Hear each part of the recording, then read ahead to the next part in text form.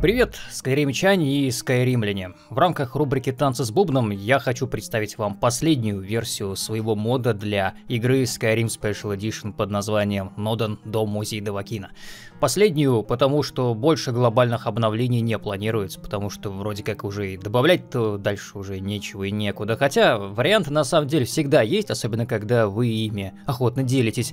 Но обо всем давайте по порядку. Скоро грянет очередное переиздание Скайрима, какой там уже по счету, так что возможно вы решите еще раз окунуться в быт холодной провинции Темриэля, и вам нужно будет где-то поселиться и коротать свои дни. Ну а некоторые оттуда и вовсе из этого самого Скайрима не уходили. Тут как раз и придет на помощь мой мод. Некоторые из вас, возможно, уже играли в предыдущие его версии, но я расскажу вам обо всем с самого начала, будто вы его никогда не видели, чтобы и те, кто о нем слышит впервые, смогли его оценить. А те, кто пробовал предыдущую версию, подметят изменения сами. Если что, на таймлайне есть пометки, можете ими смело пользоваться. Поехали! Итак, сперва небольшая предыстория. Я по характеру манчкин, я обожаю коллекционировать у себя все, что только можно. Притом я не люблю ограничиваться обычными артефактами. Каждая тарелка или кусочек даже непонятного железа для меня может быть памятным и нести в себе какую-нибудь маленькую историю. Древние свитки как раз серия к этому располагающая. Еще в Моровинде, я помню, коллекционировал души. Да, просто можно было в камень душ заключить, скажем, душу крысы, и на камне душ будет написано «маленький камень душ-крыса». И такая вот у меня была коллекция из маленьких камней душ, больших камней душ, всех существ, ну и в таком вот духе. В Скайриме же, в отличие от Моровинда, нет возможности просто вот так вот брать и выкладывать вещи на стол без страха, что они у тебя разлетятся или что в принципе будут стоять так, как нужно. Здесь же есть физическая модель, такая себе, но тем не менее есть. Поэтому разработчики придумали стенды, а мододелы их расширили. И просто замечательно, когда мы можем красиво расставить по комнате парагоны, маски драконьих жрецов, когти. Но на этом репертуар заканчивается. Некоторые моды дают больше простора, скажем, тарч кровожадности, деэдрические артефакты, карта драконьих захоронений. Отлично, правда? Но и этого тоже мало. Ведь в игре просто прорва различных вещей, и кому-то может захотеться развесить их красиво. Мод на позиционирование лично я применять не люблю, я поборник классики. Однако существует такая же парочка модов музеев, самый известный из которых «Наследие дракона рожденного». Там действительно громадный музей, но есть пара но. Первое. Мне не нравится солитивская архитектура. Вообще. Просто я ее терпеть не могу. Второе. Большая часть артефактов, представленных там, как бы живет над миром. То есть это не просто то, что есть в игре, это то, чего без мода на сам музей в игре не существует и не может там существовать по хронологии, лору. Да и некоторых вещей, я уверен, в принципе не существует. Пойди он разберись, есть ли там эти нефритовые статуэтки в Акавире или нет их. Мы же не были в Акавире ни разу, правильно? Ну и плюс у этого мода нет конкурентов, так что это тоже, знаете ли, не всегда хорошо. Людям нужен выбор.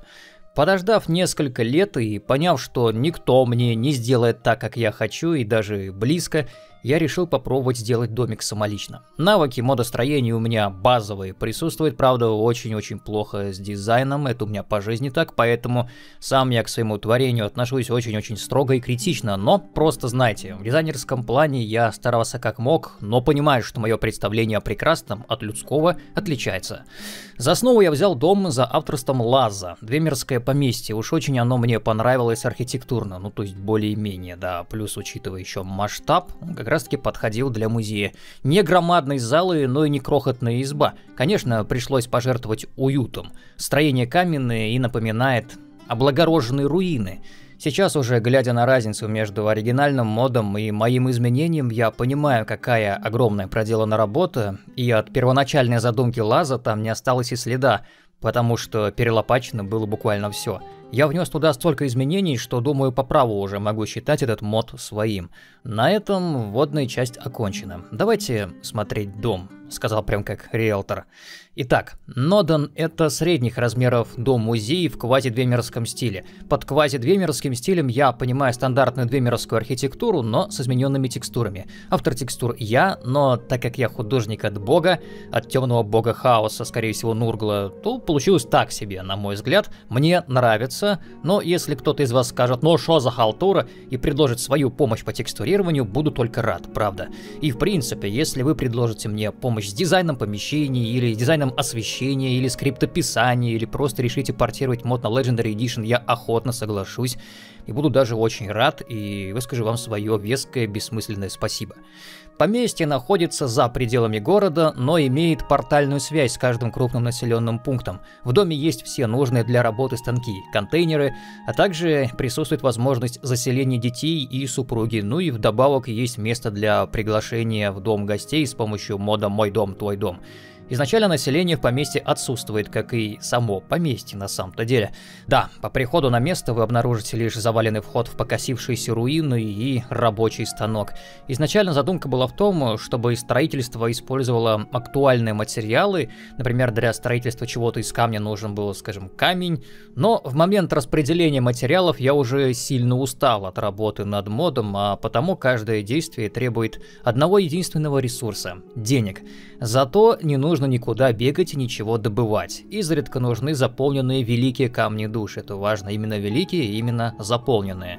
Сложно? Ничего страшного. В файлах мода игры есть текстовый файл с полным набором материалов. Называются эти файлы M и M1. И кидаются они в корневую папку игры.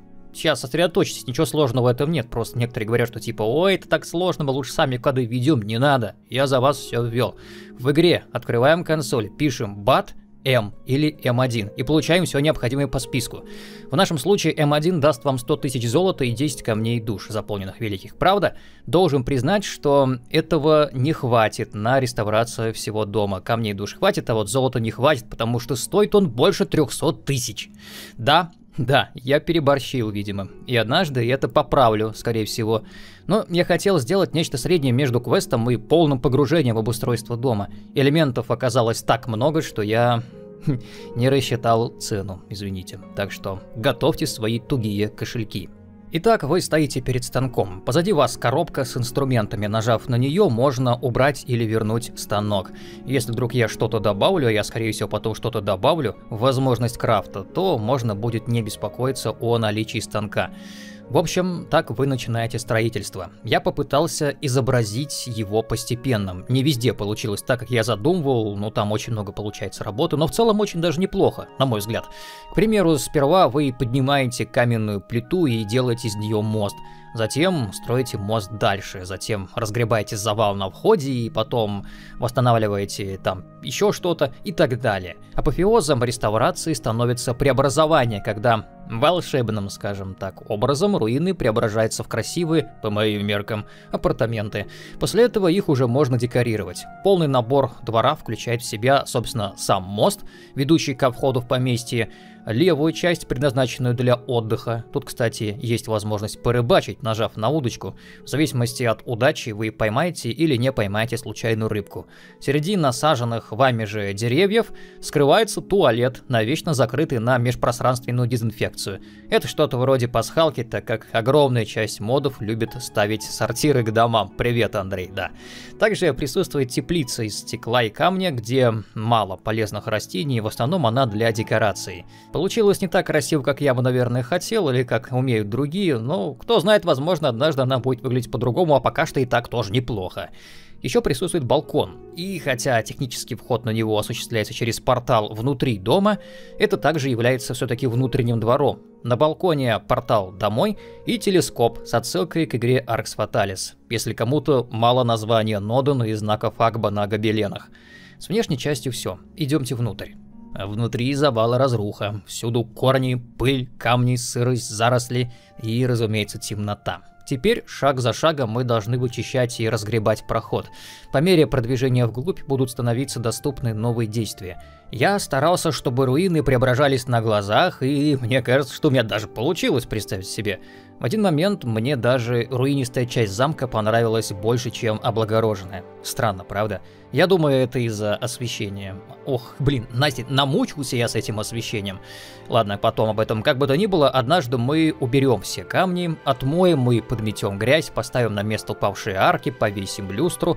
Следующий шаг – постройка генератора и его изоляция. Подключение освещения, а затем преображение комнаты и, как в случае с фасадом, постепенное его заполнение декором. Это же относится и к другим комнатам. Однако преобразовать их нельзя до того, как не будет преобразована а главная часть зала я ее называю атриум. А теперь представьте, что вы ухайдокали кучу денег на все это, на весь дом, и таки добились успеха помещения облагорожено по максимуму можно и даже нужно жить.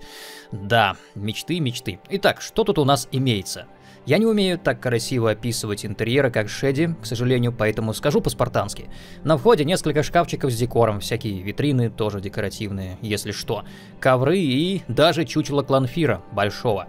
Из недекора по левую руку висит контейнер-ключница, по правую руку рычаг и кнопки. Рычаг переключает задвижку генератора. Пока он открыт, слышен характерный двемерский звук, знакомый старичкам со времен Моровинда. Сам делал.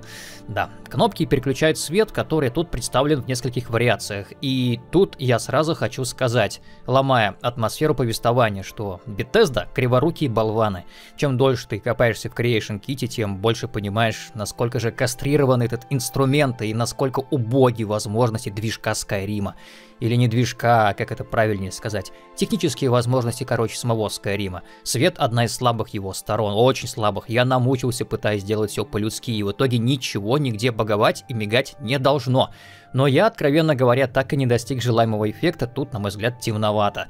Ну, а если у вас еще будут ENB, не знаю, ребят, желаю удачи. Ну, по крайней мере, у вас всегда есть факел, да? Ну, ладно, что ж теперь. Так вот, освещение тут четырех типов. Холодное, теплое, волшебное и пасхалочка. Шестой дом восстал. Кто-нибудь еще помнит тут шестой дом и почему он восстал? Под волшебным светом я в разное время подразумевал разное, но тут, конкретно в этой комнате, это нечто близкое к холодно-пурпурному. Я вот теперь думаю, на кой хер я это сделал? Надо бы потом переделать. Повторюсь, освещение не багует. Если кто-то разбирается в Creation Kit, красной зоны нигде нет. Ох, и намучился я с этим, да? Однако не багует свет только если включен один тип освещения. Если наложить два друг на друга, то станет светлее, по-нормальному светло станет, но тогда ждите миганий. Тут я уже ничего не могу поделать, вопрос к разработчикам. Дело в том, что обычно все помещения в игре, в том числе самые темные подземелья, они довольно-таки светлые, и поэтому даже без таких вот отдельных источников света там довольно-таки светло, по крайней мере, глаз не выколи. А я пытался сделать именно нормальное темное подземелье, поэтому сделал эту самую комнату темной, и поэтому мои источники света, который я расставляю, это единственный свет, который освещает, собственно говоря, дом. И именно поэтому тут довольно-таки темновато. Если вы что-то из этого поняли, я вас поздравляю. Если нет, ну просто поверьте, это было сложно и не знаю, я просто сделал максимум из того, что мог. Возможно, вы сможете лучше, буду только рад. Свет этот не отбрасывает теней по тем же причинам. Одновременно таких источников с тенями может быть не больше четырех, иначе они начинают опять же баговать, да. Здравствуй, Скайрим. Впрочем, забегая вперед, источник освещения с тенью тут все же есть. И да, такой момент. Все кнопки, рычаги и прочие активаторы в первый раз нужно нажать дважды. Это связано с моим неумением писать скрипты, извините. Последующие разы одного нажатия достаточно, но продолжим экскурсию. Прямо перед нашим носом, помимо всякого декора, бассейн. Да, автор предыдущий любил очень бассейны, он вообще бассейнофил, бассейноман, его другие дома просто имели какие-то гигантского размера бассейны, в них могут спокойно жить ктулху, и наверняка там на дне где-нибудь притаился рельеф или хантлей, неважно. А здесь у меня маленький бассейн. Тут работает скрипт автораздевания, поэтому NPC будут сами знать, что делать, поэтому, наверное, здесь сейчас никого и нет, чтобы, не дай бог, не продемонстрировать лишнего. Кстати, на вмеше я тоже не забыл проложить, ну, в этот раз. Так что NPC должны чувствовать себя здесь хорошо. В теории. На практике мне, конечно же, очень не хватает тестирования со стороны игроков, а также помощи, потому что некоторые вещи я просто делать банально не умею, а некоторым я даже не знал. Однако, повторюсь, в теории все good. На игрока автораздевание не влияет, да и нафиг оно не надо. Не надо ведь? Вот и я о том же. В бассейне в наличии статуя Дебеллы. Ну, кого же еще-то, правда? Не Миронуса же Дагона. Тогда бы это было экстремальное ныряние в кипяток, причем кровавый. В левой части атриума расположился переключатель станков. Он активирует и деактивирует все четыре станка по отдельности. Далее тут барная стойка, пережиток прежнего хозяина. Хотел ее убрать, но не придумал чем заменить, так что наслаждайтесь статичным бухлом. Проходим в дальний угол, а там у нас что? Правильно, кухня. Тут будет собираться ваша семья для трапезы. Кроме того, видите поленницу? Это активатор. Можно гасить и зажигать огонь, и вот этот уже свет отбрасывает красивую тень. Можно выключить верхний свет и оставить только пламя. Получится красиво. Ну и, как и положено, на кухне есть все для готовки. Есть контейнеры для съестного барахла, есть котелок и хлебопечка, разумеется. Из левой части зала идет вход в комнаты для гостей. Скажу откровенно, я всегда терпеть не мог эту область и оставил ее лишь потому, что сожителям нужно где-то спать. Перенес бы в другую ячейку, но не знал, как это сопоставить с искусственным интеллектом, поэтому оставил как есть. С дизайном этой части я не заморачивался, и, честно говоря, я там вообще просто даже не бываю. Я даже немножечко подсократил комнаты, раньше их было 6, я оставил 4, плюс перенес сюда детскую на 6 кроватей. Да, дом подходит для мода Herzfire Multiple. В теории все работает, что до практики, ну, сами мне скажите. В общем, тут просто комнаты, здесь не на что смотреть, пойдемте лучше в правую часть атриума. Тут у меня да, позорный уголок, тоже не переделал его совсем. Пустынное место, простор для работы и для фантазии, извините.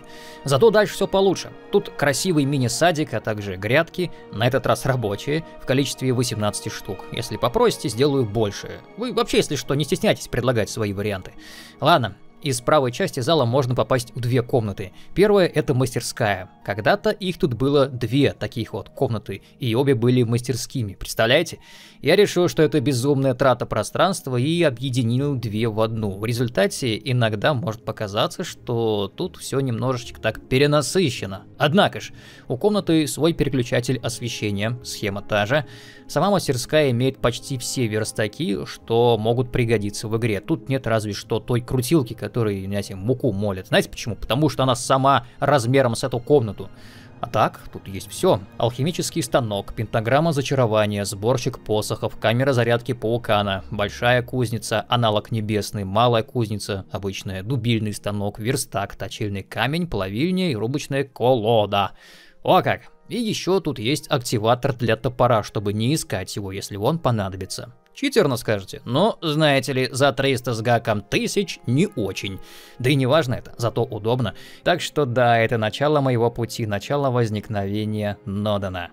Что ж, это ведь еще не все, потому что мне нужно было от этой комнаты гораздо больше, чем у нее было. Очень много модов имели, скажем, автосортировку. Вот и я о том же.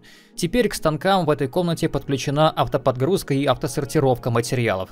То есть вы подходите к активатору, вот к этому, жмете на него и все, скажем, ингредиенты улетают в специальный контейнер. Встаете за станцию и они из этого контейнера подгружаются. Это очень удобно.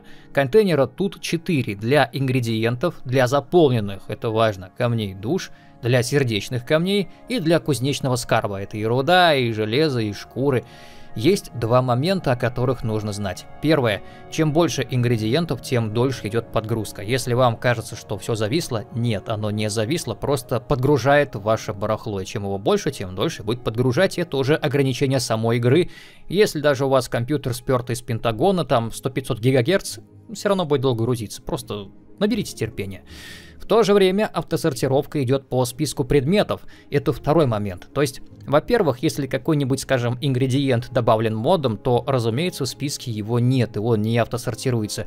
Или если мод каким-то образом меняет ингредиент, или редактирует его, или удаляет старую версию, добавляет новую, то это считается уже совершенно иным ингредиентом, не попадающим в мой список. И поэтому он тоже не автосортируется. Но если его руками положить в контейнер, то он все равно подгрузится. И во-вторых, список ингредиентов Скайрима обширен, поэтому автосортировка займет, ну, секунд 40, учтите. Примерно тоже с кузнечными шмотками, в отличие от камней, которых в списке несколько штук, там хватит и доли секунды. Также в комнате теперь в достатке контейнеров. Есть для зелий, и для оружия, и в принципе на самом деле для чего угодно, около почти каждого станка. Вот такая вот чудо-комната. Из нее, кстати, при помощи вот этого вот палантира можно быстро переместиться в другую комнату правого крыла, в личные покои. Тут тоже своя система освещения, но уже сильно упрощенная. Теплый свет и холодная подсветка купальни. Да, тут есть красивая купальня, тоже с автораздеванием. По идее, тут должна обитать ваша супруга. Мыло и полотенца, конечно же, бутафорские пока что. Зато вот зеркало рабочее. Это аналог скульптора душ. Практически за бесценок, каких-то 300 с гаком тысяч за дом, вы сможете менять по желанию свою хари-рожу на все более и более уродскую. Ни в чем себе не отказывайте. Не уверен, что выбрал правильную позицию для зеркала. С модом Race меню проблем нет, там можно приближать, но вот без него как-то, наверное, неудобно, что ли. Слово за вами. Ну, что тут у нас? О, это супружеские ложи. Ну, то есть, технически это оно и есть. Тут, по идее, должна спать ваша жена или муж. Муж должна спать, да. Как на практике, пока не знаем. На столике здесь заклинание телепорта в поместье, которое ведет, кстати, сразу в мастерскую. Мне кажется, так удобнее. Рядом двусторонний палантир, это вы знаете. И снова камин активируемый, снова с пляской теней. Возвращаемся в Атриум и заканчиваем его осмотр. В дальней части находятся два портала, которые не шумят, как это принято у эльфийских фалмерских порталов, заметьте. Правый ведет на балкон, а вот левый... Смотрели «Ходячий замок Хаула»? Отличный фильм. В общем, дергайте за цепь и выбирайте пункт назначения, а затем проходите в портал. Он, кстати, односторонний, но не забывайте, что у вас есть заклинание возврата. Портал ведет во все крупные населенные пункты, но без сомнений я буду его еще дорабатывать. Маркарт, Рифтон, Виндхельм, Винтерхолд, Вайтран, Морфол, Данстар, Фолкрит — это понятно. Кроме того, если выполнены определенные квесты, можно также попасть в убежище Темного Братства под Фолкритом, в Буйную Флягу, в Коллегию Магов, в Форт Стражи Рассвета, на Воронью Скалу, к соратникам портал почему-то не работает. Хрен знает почему. Вот, знаете, у него сами спросите, почему не работает. На этой веселой ноте экскурсия по Атриуму завершена. Дальше еще интереснее. Но прежде чем уйти, хочу отметить, что в доме играет кастомная музыка, не скайримовская. Я сам подбирал композиции из разных игр, фильмов, есть даже музыкальные композиции, например, группы Solxis. Увы, почти все это жестко облагается авторским правом здесь на ютубе, поэтому я вам не могу продемонстрировать это, но фокус-группа, состоящая из одного Андрея, утверждает, что музыка очень даже красивая. Поэтому мы ему все поверим. Но вы на самом деле не верите, вы уж сами проверьте. В Атриуме играет один плейлист, в выставочном зале другой. Собственно, давайте уже полюбуемся на него, на выставочный зал. О, итак, моя прелесть. Выставочный зал. Ох, сколько ж я труда в это вложил, но оно того действительно стоит. Итак, это большая музейная комната, в которой вы можете выставить экспонаты. Не только стандартные маски, каски, салазки, а практически все, что вы можете добыть честным или не очень честным путем. Тут четыре важных момента. Первый. Я любитель системы, когда каждый артефакт ты можешь лицезреть. Поэтому если я прошел, скажем, квест Азора, я считаю, что имею полное моральное право выставить обе версии звезды. Я все равно же ими не пользуюсь. Они просто лежат здесь и радуют глаз. Позже мне подсказали мод, где вместо артефактов ты как бы куешь подделки-артефейки. Но я уже слишком устал, чтобы все это переделывать заново. Второй момент. Часть экспонатов нельзя добыть стандартным путем. К примеру, щит Эйлы можно только выкрасть у самой Эйлы.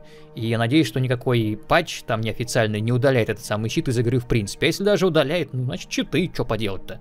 Потому что выставочный зал важнее. А некоторые экспонаты вроде одеяний псиджиков и вовсе нельзя получить легально, только консолью.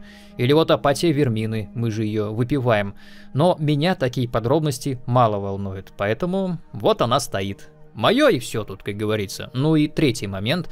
Некоторые артефакты имеются в нескольких версиях и отличаются по силе. Это для подгона по уровню. Такой вот у нас тут Skyrim. На момент, когда я делал музей, я не умел делать проверку на все версии сразу, а когда научился, столько переделать было уже лень, потому что тут громадное количество экспонатов, о чем вы скоро узнаете. Возможно, однажды поправлю, но в целом, если артефакт не ложится в активатор, значит, ну, сорян, нужна другая его версия. Либо консоль, либо, ну, ждите, когда я поправлю, либо поправьте сами, заодно и мне поможете. И четвертый важный пункт. Все строилось и тестировалось на голой версии игры, и все работает нормально.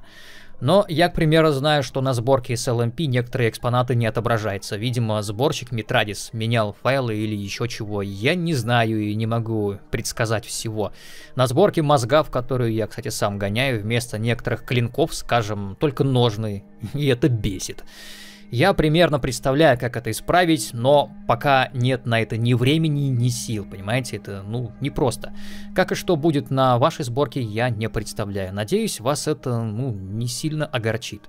Не совсем полный список артефактов, который приложен к моду, включает в себя 293 позиции. Согласитесь, это немало.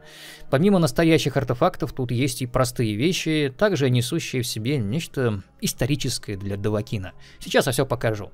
Если что, можете консолью получить все экспонаты, чтобы самолично заценить музейку. Для этого вбейте в консоли BAT-M. Учтите, что также включится ТГМ, чтобы вы могли нести на себе груду железа, ну и не забудьте для такого теста выделить отдельное сохранение. И, кстати, да, на сборках на Рокве ТГМ не спасает от перегруза, ты просто стоишь на месте, поэтому я обзор делаю не на Рокве. И еще я хочу, чтобы вы обратили внимание на то, что многие артефакты тут имеют уникальные модели. Ну, потому что я считаю, что это важно. Мне хорошенько пришлось облазить интернет и немного, мягко говоря, повозиться с редактированием, так как огромная прорва артефактов в Скайриме имеют стандартные модельки, и в итоге на стендах лежали, условно говоря, 100 одинаковых клинков. При том, что, к примеру, меч Хьялти это как бы, ну, почти что меч бога, потому что Хьялти это Талос, а выглядит это просто как простая железяка. И в итоге большая часть выставочного барахла тут имеет уникальные модели и текстуры. За счет этого мод весит немало. За счет этого и за счет картин, которых по всему дому немало. 41 горизонтальная, 22 круглых и 38 вертикальных, итого 101 картина. Я использовал различные красивые арты из мира The Elder Scrolls, но когда они закончились, начал примешивать другие миры типа Темных Душ или Ведьмака. В будущем картин будет только больше. Я люблю картины. А вы? Надеюсь, что да, потому что если нет, то у меня для вас плохие новости.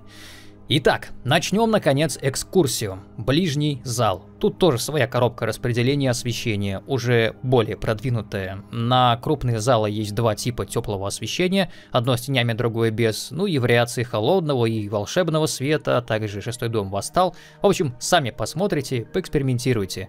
Тут же снова переключатель станков. Ну, а теперь давайте быстренько, буквально калейдоскопом пройдемся по стендам, потому что рассказывать обо всех 300 экспонатах долго, это, это собственно, долго.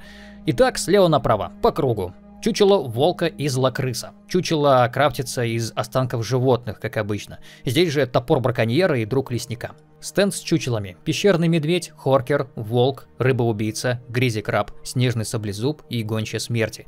Далее стенд с артефактами. Необычная серебряная заготовка и серебряный же подсвечник. Я не буду указывать, в каких именно квестах вы все это сможете найти. Вы и сами либо уже это знаете, либо найдете без меня. Наручи позолоченные, скума обычная, скума красноводная, скума двойной перегонки, снадобье фантома, белый флакон, бутылка с кровью, экстракт из стручков душ, микстура нурилиона, фалмерский кровяной эликсир, живица сонного дерева, две мирских чертер, статуэтка дебелы, драконий камень, рога Юргена и Торга, реликвия ретина, вилка Бальбуса, ложка из граммора.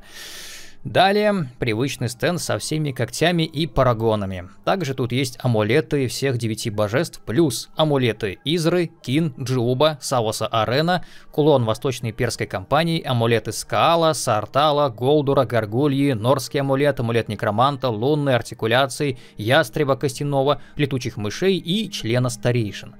Ниже расположены кольца – зверя, ястреба, эрудита, ночного ткача, серебряной крови, илостей, обручальное, муири, кольцо Витории, два азидаловых кольца, кольца охоты, луны и инстинкта.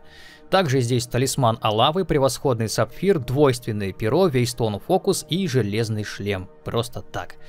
Левее – статуя в честь Ауриэля, для нее нужен лунный камень. Если что, в списке артефактов в файле в скобочках указано, что именно нужно для некоторых стендов. К примеру, дубина великана в атриуме крафтится, кажется, из абонита, не помню точно. Сами разберетесь. Правее – модель парового Центуриона, а между ними – меч клинков. Еще правее стенд с масками. Также здесь есть карта драконьих захоронений, печати смерти, маска члена культа, черепа путешественника, Колбьорна, Торстона, Сарака, кинжал драконьего жреца, посохи Хевнарака и Мирака и меч Мирака. Этот стенд продолжается вправо. Здесь этериевые артефакты, эмблема, корона, щит, посох. Черный лук судьбы, зефир, паучий жезл, диадема ученого, шлем Ингола, тарч кровожадности. Ниже Останкина, да, таз Пелагия и черепа Патемы, Карстага и Арвака. На полу сапоги Моварта и Хищника. около соседской стены статуя Алдуина, сидящего на стене. Далее большой стенд, на котором кольцо лабиринтиана, сигильский камень, зубчатая корона, чаша из гелиотропа, настроечные перчатки, призрачный клинок и лук, порыв ветра, рунные топоры молот стражей рассвета и рунный же щит. Два простых, но красивых посоха изгоев и фалмеров. Посохи мелкие, Рунвальда, Гатнора, Юрика и Магнуса. Ну как, нравится? Мне очень. С левой стороной закончили, перейдем к правой. Стенд с оружием. Меч Вилкоса, щиты Эйлы и Хролфдира, кинжал Александры, стальное оружие Небесной Кузницы, оружие Лунной Кузницы, тоже стальное, молот Шагрола, бич Хоркеров, меч Харкона, Акавирский меч, не путать с мечом клинков у дверей, это разные мечи, дубинка Защитника, лук Фроки, лук э, Смерть Фериниеля и снизу 5 стандартных банок с насекомыми. Правее статуя снежного тролля и маленький стенд с музыкальными инструментами, флейта, барабан и электрогитара. Далее стенд со щитами. Щит каждого холда, кроме, прикиньте, солитюда, потому что вместо него посередине я расположил артефактный щит солитюда, а про обычный, не артефактный, я как-то позабыл. Ах, ждите однажды с патчем топор палача, бич троллей, проклятие эгиды, шлемы стражника и хитиновый жучиный шлем, ниже артефактное оружие, кровавый шип, кинжал вальдра, клык э, вазелина, в смысле кавазиина или кавазейна, как он там, лук анги, бич драконов, клинок балара, бледный клинок и проклятие красного орла. Далее по краям от входа в библиотеку две дейдрических статуи Меридии и Ноктюрнал – еще правее дейдрический альков, тут всякая доэдрика, а именно Волендранг, топор скорби, ибонитовый клинок, булава молога бала, сияние рассвета, разрушитель заклинаний, череп порчи, роза сангвина, вабба джек, ибонитовая кольчуга и шкура спасителя, маска клавикуса Вайла, бритва Мируноса, кольцо Херсина и кольцо Намиры, огма инфиниум, испытание Баэти, в конце концов тоже это связано с доэдрикой так или иначе, снахождение, апатия Вермины, скелетный ключ, комментарий к мифическому рассвету, все четыре тома, две версии звезды Азоры, звезда Меридии, кольцо Балвин, Катарины, Пити, Трей, а также жертвенный клинок. А вы ведь наверняка не знали, что по Скайриму так много дейдрических артефактов. Разбросано, да? Ладно, далее воровская малина. Все артефакты гильдии воров. Карта имперской компании, да, планы Мерсера, скрижаль Калсельма, бюст Лиса, журнал Гала, соловьиный клинок и лук, два глаза Фалмера, ну и классические кубки, подсвечники, обычные золотые, плюс графин, пчела, кораблики и вемеровская головоломка. А, ну и ящик огненного вина, конечно. И последний стенд у стены, чучело саблезуба, и уникальные музыкальные инструменты. Это флейта Пантей, барабан Риона, лютня Фина и имперский боевой рок. Редкие, но вполне себе реальные. Кстати, здесь же рядом в стену встроен маленький сундучок. Просто так, вдруг пригодится. Обычно всегда пригождается. Стены закончились, но не закончилось место в комнате. Посередине, значит, как видите, стоит мамонт. Перед ним винный круг.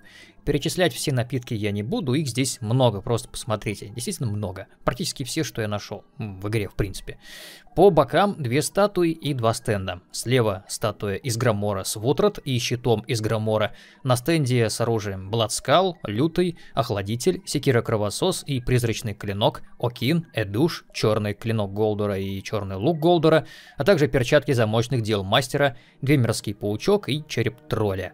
Справа статуя Ауриэля со щитом и луком Ауриэля, тут же свирель танцора, нож скобель и кувшин посвященного, и также экстрактор, настроечная сфера и заполненный словарь. Из оружия тут секиры пылких душ, длинный молот, лук охоты, посох холдира, меч Ялти, зазубренная кирка, белый иней, перчатки борца, клинки горя, барвира, рунди, заточка, крапивник и разрубатель. Как ни странно, но это все в первом зале. Переходим во второй.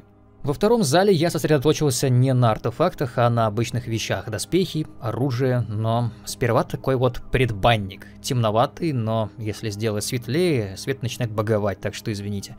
По левую руку здесь две мирские артефакты, по правую посуда. Я очень любил составлять такие коллекции в Моровинде из посуды. Что до артефактов, то это всякие кубы, кристаллы, обрезки металла и прочие сердечники, кагераторы, генераторы. А дальше уже полноценный зал. Как видите, здесь ни одного манекена. Как только беседка научится делать нормальных манекенов, которые не нагружают доводовую систему и не живут своей жизнью, независимо от любительских патчей, я обязательно их добавлю. Но так как это не случится никогда, идут манекены в задницу только классические кресты, прямо как такое маленькое кладбище. Итак, слева направо. Статуя оборотня, стенд с комплектами древней нордской брони, брони Пинутус Акулатус, клинков и волчьей брони. На таких стендах, как видите, в основном по 4 вида доспеха и есть место для каждого элемента. Перчатки, сапоги, кераса и шлем, если, конечно, все это есть. Иногда есть дополнительные вещи, и они стоят где-то тут тоже на стенде. Далее смешанный стенд. Наверху здесь боевые молоты, ниже артефакты вервольфов. Не все знают, что они вообще есть. Я вот, например, не знал. А еще ниже древняя нордская посуда. Ну, по крайней мере, ее первая часть. Далее стенд с железной и стальной броней. Потом с имперской и повстанческой. Потом фалмерский и двемерский. Затем э, эльфийской стеклянной орчей и изгоев красивом углу чучело самки Нетча, а правее чучело обычного медведя – Дальше стенд с секирами. Все не уместились в один, поэтому тут чуть поодаль еще такой же стенд с остатками секир. Между ними подъем к стенду с древними свитками, черными книгами и некоторыми артефактными книгами. Позже я планирую расширить это место. Сейчас тут пока что четыре древних фалмерских переведенных книги «Поцелуй милосердная матушка», «Органианская дева инфолио», разумеется, и «Сочинение святого Джиуба». Индивидуальные заказы на стенды принимаются, места здесь полно. Ах, да, по бокам у входа тоже две статуи, горгулья справа и древний фалмер слева. Что ж, ползала обогнули, идем дальше. Чучело белого медведя, стенд с двуручниками, ниже них нордские древние инструменты и остатки древней нордской посуды. Дальше большой стенд с оружием, снизу булавы, сверху часть локов, посередине клинки. Модель двемерской баллисты отделяет второй крупный стенд. На нем остаток луков, арбалеты, а также стрелы и болты. Некоторые активаторы стрел трудно поймать, но возможно. Ах да, еще есть кинжалы. Далее еще один стенд, уже небольшой стенд с одеждой. Вампирская, воровская, убийц, императорская, свадебная, поварская, шутовская, домотканная, одеяние архимага, псиджиков, вермины и мифического рассвета, а также соловьев. Не тот, который live, а который вот э, Nocturnal Соловьев. В углу красивый стенд с чучелами оленя, лошади и сприггана, а также комплекты аликьрцев, талмарцев, вампирская королевская одежка и комплект стражей рассвета. Тяжелый, он тут одной расцветки, потому что они на самом деле не отличаются практически ничем, отличаются внешне чуть-чуть только керасой, то только цветом и все. Ну и рядом статуя Двемерской сферы. Посередине еще несколько стендов с комплектами. Кость, хитин, нордик, наверху крепление для щита, стражи рассвета, самого обычного, не рунного. По соседству комплекты члена культа Мирака, Сталгрим и Морок Рядом мех, сыромятина, кожа и древний ассасинский доспех. Ну и, конечно же, драконика, даэдрика и эбонит. Между этими стендами стоят три других стенда для щитов и один стенд для топоров – Кроме того, если взглянуть наверх около таких вот диагональных стендов, можно увидеть активаторы для четырех статуй драконов, а со стороны Даэдрика вместо щита будет активатор статуи драконьего жреца. Вот теперь все. Это весь набор второго зала. Но есть еще два зала поменьше. От входа налево как раз один такой. Я создал его для того, о чем забыл ранее, так как места больше не оставалось. Комната намеренно маленькая. Здесь есть мемный стенд с поварским колпаком и сладким рулетом. Также тут алтари богов, разумеется, только в виде экспонатов, а не в виде рабочих алтарей. Обломки меча, обломки топора и одежа Ольфрика и Тулия. Чуть правее держатель для вереского гейса. Еще правее полка для вереского сердца, ложки, вилки и статуэтки Талоса. Один доспешный стенд, тут одежда скалов, азидала и старых богов. Ну и стенд с комплектом Мирака и Черного Стража. Здесь все. Пустовато, но оно, напомню, помещение это как раз таки было добавлено для того, чтобы добавить в него то, что я еще не добавил. А по-моему, я добавил почти все, что есть в игре. Ладно. Напротив этой комнаты вход в библиотеку. Да, я бы даже сказал в библиотеку. Кстати, перед входом в библиотеку есть переключатель света. Другие комнаты таким похвастаться не могут. Они переключаются только с оригинального переключателя у главного входа. Почему? По кочану. Библиотека претерпела не очень много изменений. Я убрал лишний громоздкий некрасивый декор и добавил чуть-чуть своего, а именно вот этот вот замечательный, практически чайный гриб. Ну и картина, разумеется, да. Еще вон ту комнату дальнюю замуровал, потому что теперь тут в доме, кроме нас, никто не живет. В целом тут есть полки для книг, мало полок для книг, но у меня не получилось создать новые полки для книг. Не знаю почему. Не получилось и все тут. Не работают они. Так что довольствуемся этим. Если что, тут есть шкафы-контейнеры для книг. Также тут есть камин, который тоже можно зажигать и гасить, чтобы читать в такой красивой обстановке. В общем-то это все. А однако из той коморки, о которой шла речь ранее, идет вход в манекенную. Да, раньше эта комната была соединена с музеем, я вынес ее в отдельную ячейку. Я не люблю манекены, но, возможно, их любите вы. Так что вот, пожалуйста. Когда вы купите стойки и манекены, вы увидите, как они, все эти самые манекены начали ходить, а оружие попадало со стойк. Просто перезайдите э, в комнату, а лучше на самом деле в игру. Оружие вернется, кроме одного меча у входа. Это я его лично сломал своими вот этими вот руками. И я не только, знаете ли, книжные полки делать не умею, но еще и оружейные стойки. Вот не получается и все. Не знаю, как закрепить этот меч. Ну вот, знаете, сам держатель работает, и хрен бы с ним. Так что выкидывайте все это железное дерьмо и вешайте свое дерьмо. Тут, в общем, есть держатели, в том числе вдоль стенок витрины, ну и манекены. И портрет Лемстима Питона для особых извращенцев, потому что никто другой этой комнатой пользоваться не будет. Это факт. Это удивительно, но на этом все. Да, э, для меня это действительно удивительно. В общем, такое вот получилось поместье. Безусловно, здесь еще есть над чем работать, но, возможно, со временем я и буду. А возможно, и вы мне в этом поможете. В описании под роликом будут ссылки на скачивание мода на сайте GameMods. Спасибо им за возможность размещения. Добавил бы еще и на Nexus, но там вроде бы русскоязычные моды не жалуют, а я языка не знаю. Ну и в конце обязательно нужно сказать спасибо, собственно, Лазу, автору оригинального Демер Мэннера, который пусть и не идеален, он далек от идеала, но он дал мне такой вот творческий толчок. А также хочу сказать спасибо Рагумаха, это такой ник, за консультацию по некоторым вопросам, и Ивенку, автора мода Ёшкин дом, кстати, отличного мода, он мне даже местами нравится больше, чем мой. Она тоже подсказала мне много из того, чего я даже не знал, и я ей за это очень благодарен. Она даже пыталась портировать мой мод на Legendary Edition, и мне сейчас вот стыдно, что теперь та версия уже не актуальна. Ну и спасибо, разумеется, Андрею Шедди, который своими обзорами домов дал мне несколько новых идей для реализации. Мне кажется, я их вполне удачно своровал. Обязательно посмотрите его топ, состоящий из 77 домов. А также спасибо всем тем обычным моим зрителям или просто пользователям мода, которые что-то подмечали, что-то рассказывали, высказывали свое мнение, делились какими-то задумками или наработками, наработками никто не делился, но задумками делились. Спасибо, ребят, вам всем большое. С вами работать всегда интереснее, когда я вижу ваши отзывы, появляются сразу силы и желание, а главное идеи для того, чтобы сделать в том числе этот дом лучше, чем он есть сейчас. Что ж, спасибо всем за внимание, если вам понравилось, следите за обновлениями, а по желанию и сами участвуйте в модернизации этого дома, не ленитесь, мать вашу. А теперь возвращайтесь в Скайрим, Давакины. Он, знаете ли, снова в опасности. Ну, там драконы и все такое.